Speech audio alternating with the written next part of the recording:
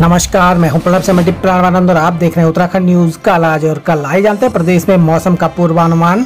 मौसम विज्ञान केंद्र द्वारा जारी मौसम पूर्वानुमान के अनुसार 11 अगस्त 2022 को उत्तराखंड के पर्वतीय क्षेत्रों में कहीं कहीं तीव्र बौछार के साथ अनेक स्थानों में हल्की से मध्यम वर्षा या गर्जन के साथ वर्षा हो सकती है। साथ ही राज्य के मैदानी क्षेत्रों में कहीं कहीं हल्की वर्षा होने की संभावना है। वहीं जनपद स्तरीय चेतावनी के अनुसार उत्तराखंड के देहरादून तथा उत्तरकाशी जनपदों में कहीं कहीं भारी वर्षा होने की संभावना है।